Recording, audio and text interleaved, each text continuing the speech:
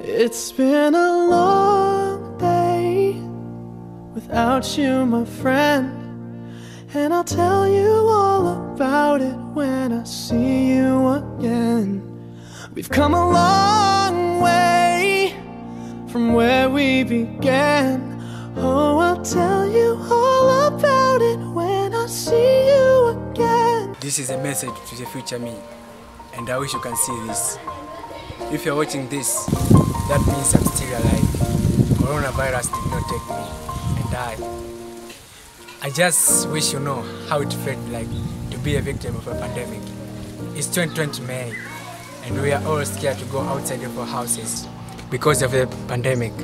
America and China are trying to fight this shit, but it's not getting any better for we Africans.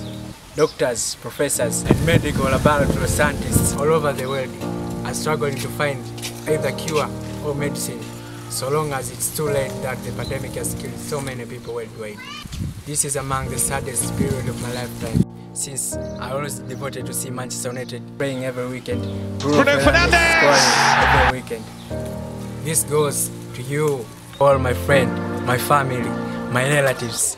You are the part of my life. I wish to see you all this come to an end. Stay home, stay safe.